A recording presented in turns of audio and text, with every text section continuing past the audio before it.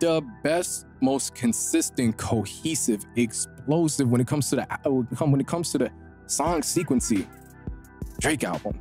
But the first half is if you're reading this, it's too late. Yo, man. I just gotta pause real quick. Like, let me, let me, let me.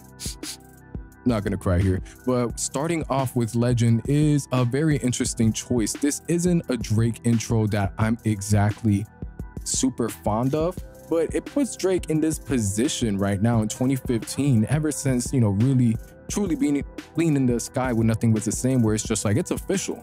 It ain't it ain't a debate of whether he is a great rapper. It isn't a debate if he's uh, you know, if he's gonna stand the test of time. He's officially a legend. Drake could could have ended 2015 with this album, and he is, would have been, still is a legend. Now going on from there, energy, 10 bands, and know yourself. It's like an adrenaline roller coaster that's just pumping you up the entire time. So you go on a ride, but it doesn't end. After like 10 minutes, you're going through all the ups and downs, the loop de loops, but it just continues to get even more aggressive. And following that up with energy, 10 bands, know yourself, no telling.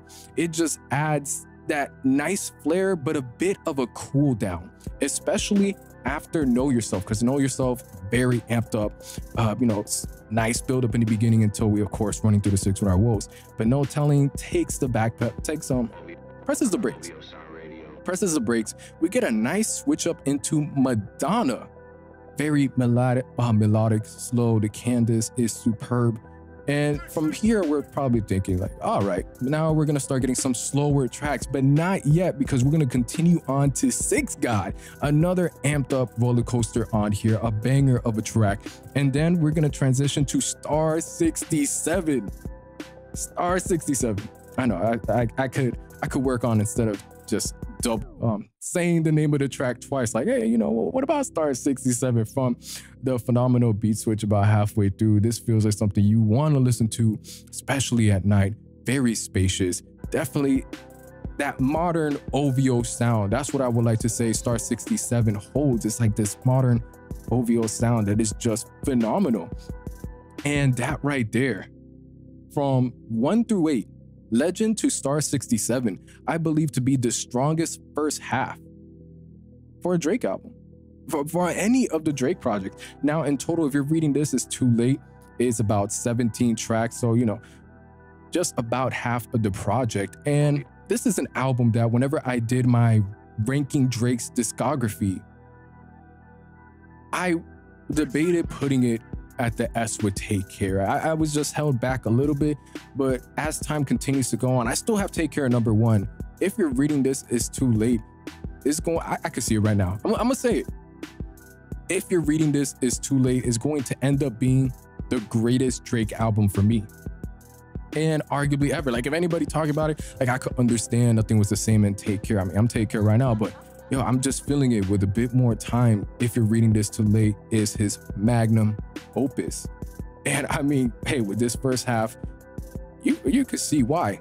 Now, I'll get a bit into the second half. I'm not gonna say that it falls off or anything, but this is where we start getting like different bits of energy throughout, like going off from Preach to Wednesday Night Interlude. We're definitely getting a lot more moody, that softer Drake that we're used to. Well, with Preach, we're getting a little bit more tropical with Party, but Wednesday Night Interlude with Party, we get the two different versions. We got the tropical side of them, you know, that Popcaan side of them, and then we got the, all right, we, we're gonna go for the OVO soft side. We're gonna go for the OVO soft side.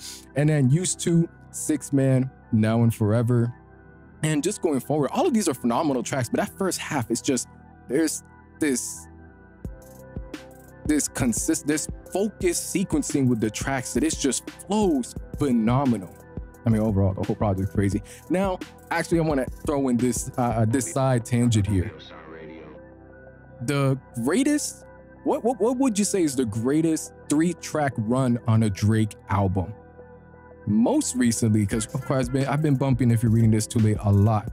I would have to say going from used to six man now and forever is probably the greatest three track run on, on throughout Drake's discography. Now, with this, of course, there are other three track runs that are phenomenal as well. But as of right now, I feel it's unbeatable. It, it really is unbeatable going from here six man And, you know, we get Drake sort of rapping on a more rapid pace. Whenever he's ending off his verses, he's sort of extending it. He's sort of making it not exactly singing, but a bit more melodic, and it just flows pretty well. Going into Now and Forever, it I, I don't even know the right words to put it right now. It's just such a it was a different direction than what, what I want to say we've heard from Drake. Even within this project, it just said different direction. Where I was like, all right, mainly singing the hook, and then sort of just uh, whenever he is going through the verses, sort of like rapping it, keeping a bit of breathing room before going on to the next verse, so to speak. Yeah, again, this is part of the side tangent here, so I, I would like to revisit this as um uh, three track runs throughout his discography. And then You and the Six for his mother. It is a beautiful, beautiful song, extremely introspective, reflective. And to believe it isn't even an outro, it's a, and it's like two, yeah, two songs, two songs off from ending. It's, it's something, something else. Now, with that, that's why I believe if you're reading this, it's too late.